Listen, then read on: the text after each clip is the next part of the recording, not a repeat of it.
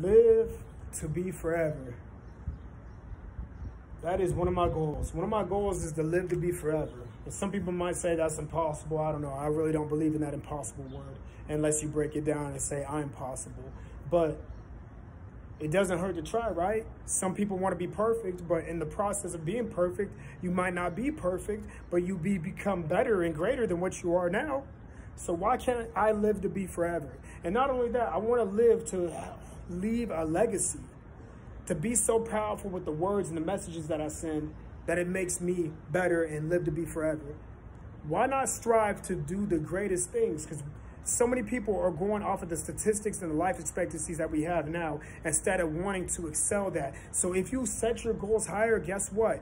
You have higher standards and you treat yourself better. You eat better, you exercise, you put the better better things in your mind, you read better books, you want to be around better people. Live to be forever.